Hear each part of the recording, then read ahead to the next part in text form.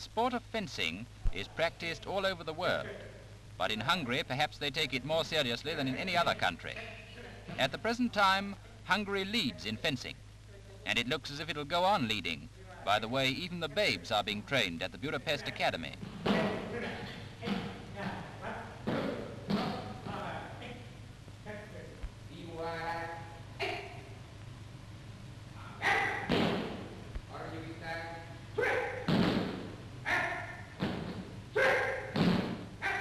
Every detail of fencing etiquette is observed when these youngsters have a bout.